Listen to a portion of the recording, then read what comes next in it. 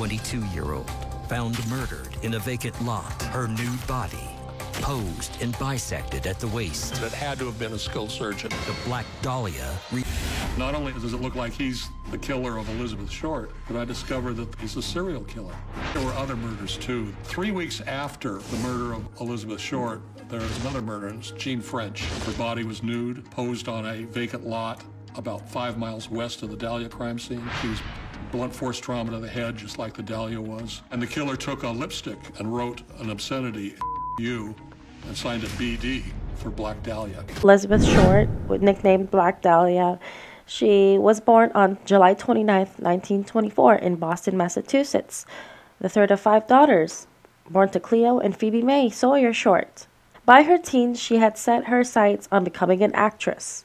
By the mid 1940s, Short was living in Los Angeles, California, working as a waitress to support herself while dreaming of catching her big break into Hollywood's acting scene. However, it would never come. In January of 1947, a horrific tragedy occurred at the age of 22. Elizabeth Short was brutally murdered in Los Angeles, her body cut in half and severely mutilated. Her body was found nude and posed by a local female resident on January 15, 1947, in a vacant lot near Leimert Park on the 3800th block of LA South Norton Avenue.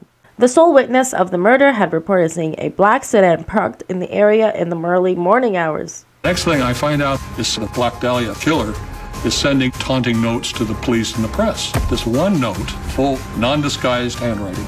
It's my father's handwriting. The handwriting, then the description of the suspect that was actually seen at the crime scene. A witness was a half block away and he saw this 1936 dark sedan. Well, Dad at that time was driving a 1936 black Packard sedan. There's a lot of evidence in this case that kind of subjects him to the crime. One of the suspects, George Hodel, his son, Steve, is a former LAPD detective. He is convinced that his father had committed the crime. They do call it a theory, which is really kind of sad at this point because there are there's so much evidence. And the Guardian like is one of the reports that stated that was a theory, and and then like till this day it hasn't been solved, and um, of course the suspect has passed away, and so his son is calling out his father, which is uh, shocking. She was last seen alive by Robert Manley on the 15th of January 1947. Anonymous package containing Short's belongings was mailed to the Examiner newspaper on the 25th of January 1947. Yes. Asiko went to uh, mail whatever belongings she had in her purse and actually was taunting the police, sending letters in. One of these serial killers that really love to kind of show off their skill, right? And they will do anything to uh, taunt and make everybody upset. And it's just sickening how they think it this way, but you know, there are some crazy people out there. On the 25th of January 1947, Elizabeth Short's handbag and one of her shoes were found in the dumpster. Steve Hodel, his son, actually went to check out the files from Elizabeth Short's case. There's a quote from George talking on the phone with someone telling them, Realized there was nothing I could do. Put a pillow over her head and cover her with a blanket. Get a taxi. They thought there was something fishy. Anyway, now they may have figured it out. Killed her. Steve's father. That was Steve's father on the phone. And they did get a lot of his conversation through his walls in his home. So they tried to get a, as much evidence as they could. The police wasn't, they were all out and very smart with this case. Let me add to that. See, he's a doctor, so he's very, very intelligent and he has done numerous amount of surgeries which is why police are sort of pinpointing it out that he was the killer. And they did catch another quote saying that when he was on the phone he says supposing i did kill black dahlia they couldn't prove it now.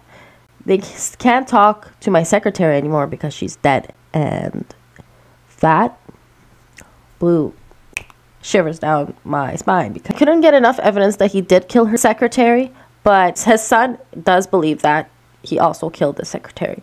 My dad was also investigated 18 months before the Dahlia murder for the suspected overdose murder of his secretary. There were other murders too.